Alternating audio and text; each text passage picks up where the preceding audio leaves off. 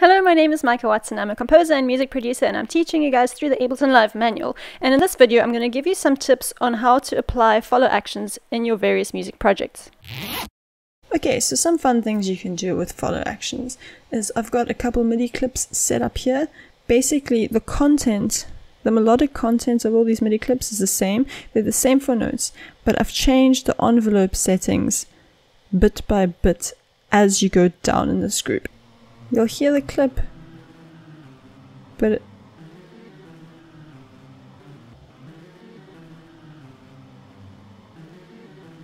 basically you hear the same melodic content but I've changed the envelopes on the different MIDI clips and so it adds some variation. Obviously you can make a whole lot more clips and make the changes very subtle, like add some transposition changes between the various clips and add some transposition changes between the clips just to give it subtle changes. But in this way, you can use the same melodic clip but create variation as it loops through the entire track.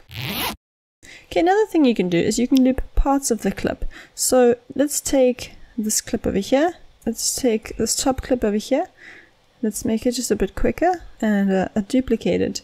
So say I want the first bit of this clip to be looped a couple times before it plays the whole thing through. I've made two clips and I'll just make the follow action here to be one beat and I'll set this to next.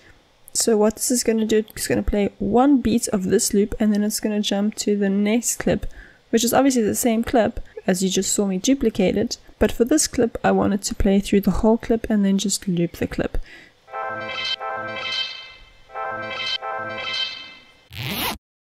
You can also create drum loops and similarly to what I did with my MIDI over here, you can create a drum loop and make many copies of it and add small changes to the various drum loops, loop it through. Another thing you can also do is change the start and end time of your various clips. So to change the start and end times, you need to go to your notes box over here. Note that I'm in a MIDI clip right now, not an audio clip. To get this notes thing, go to your clip box and make sure this little notes button is highlighted and you'll get this box. And on the right side of the box, you've got your start and your end time.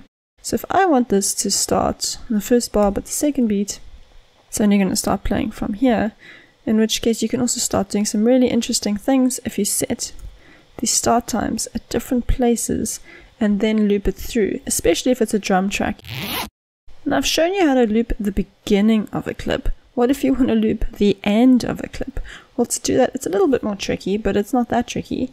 Uh, go to Arrangement View, or actually take your clip, drag it to the right into Arrangement View, and uh, basically I'm going to make two of the same clip, but one clip is only going to be the ending, and then we're going to loop that part. So I'm in Arrangement View here, I'm going to take the end, I'm hitting Command E to split the clip, as you can see I've split it. I'm going to drag this back into my session view and to put it down here. So basically what I have here is your full clip and here I've just got the last little section of the clip. And if I want to loop this last section of the clip, I'm going to follow action and uh, let's just play the full thing. Let's play it again. And this one, we're just going to play the next one. Another way you can just get the second part of the clip is to just move these markers over here that way when I launch this clip I'm only going to get the last little bit.